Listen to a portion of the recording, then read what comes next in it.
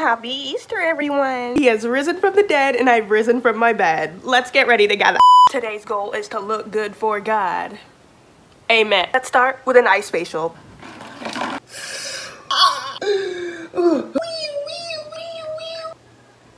Can't forget the mustard. Okay, we're done. We're done. I ain't doing that anymore. And then you have free ice after. Never mind.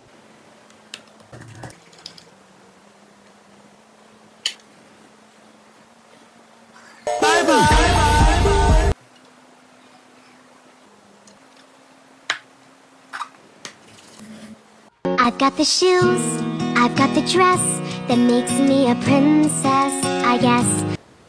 If I get this on my dress, I'm gonna cry. Marceline. Haiti Ho. Her. This teacher came to me and told me that I was crying.